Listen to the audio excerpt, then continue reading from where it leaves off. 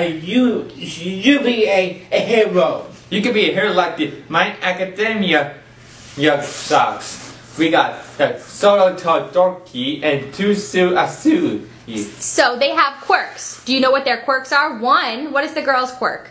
A frog. And do you know his quirk? The So one side of his body, hat is hot cold and the other side is hot. And it gives him the power to freeze with his right and hand and burn with his left hand. The scoop and the temperature of his power is unknown. very cool. And John, what do you have? I have uh, my hero A- Academia. You have two ankle packs, right? Two packs. So we love this anime here at John's Crazy Socks, right? Oh, Right. and, and you know this one? See, she's a fearless and outspoken girl who always says what's on her mind.